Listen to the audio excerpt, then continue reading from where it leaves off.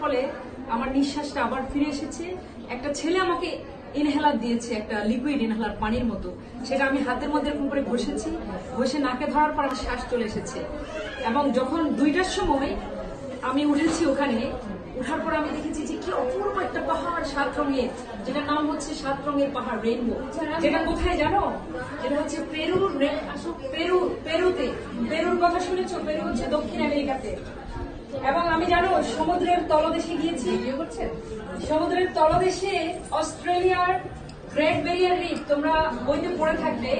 Great barrier রিফে আমি গিয়েছি যেখানে আমি যাওয়ার পরে আমার ফ্লাইট এসে ছুটে গিয়ে আমার মুখ দিয়ে পানি চলে গেছে সমুদ্রের সমুদ্রের লবণাক্ত পানি।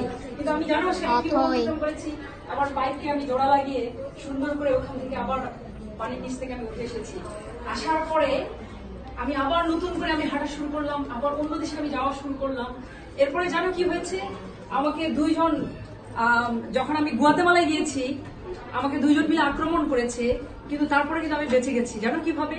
আমি কৌশলে তাদের সাথে আমি কথা বলেছি। কথা বলার পর আমি বেঁচে গেছি। আমি রাতের অন্ধকারে অনেক বর্ডার ক্রস করেছি পৃথিবীর, এক দেশ থেকে আরেক দেশে। আমি অনেক সুন্দর সুন্দর গ্রামে গিয়েছি। তোমাদের মতো হাজার হাজার বাচ্চাদের সাথে আমি মিট করেছি। যেন আমি আফ্রিকাতে গিয়েছি, সাহারা মরুভূমি।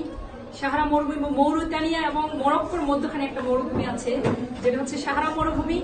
সেই মরুভূমিতে আমি ছিলাম চার দিন এবং সেখানে চাঁদের আলো সূর্য সূর্যোদয় এবং সূর্যাস্ত আমি দেখেছি।